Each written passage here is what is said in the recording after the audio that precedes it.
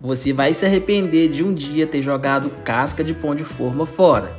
Faça isso e me agradeça. Pessoal, vamos começar um recipiente adicionando casca de pão de forma. Em seguida, por cima, vamos adicionar um pouco de óleo. Pessoal, não aconselho adicionar azeite porque pode alterar o sabor.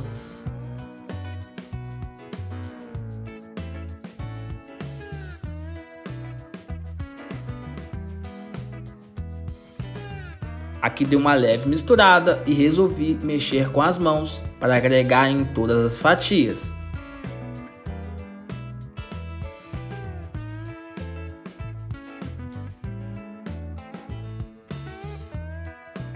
Feito isso pessoal, agora é só levar o forno a 200 graus e vamos deixar até dourar por mais ou menos 10 minutos. Vai ficar assim e pessoal, olha só, super crocante. Agora por cima vamos adicionar um pouco de açúcar. Um pouco de canela.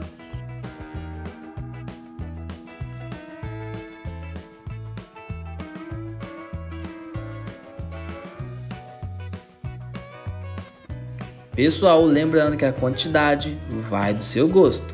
Feito isso, é só a gente misturar muito bem.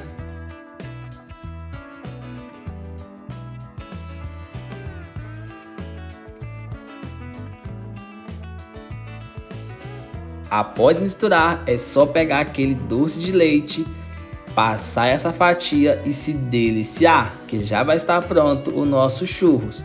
Pessoal, fica uma delícia. Sinceramente, não tem como resistir.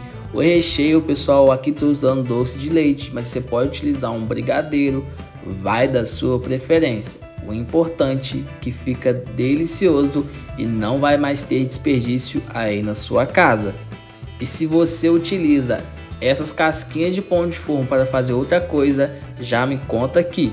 Eu espero que vocês tenham gostado. Essa foi mais uma receitinha aqui do Pobre na Cozinha. Aquele forte abraço, até a próxima e valeu!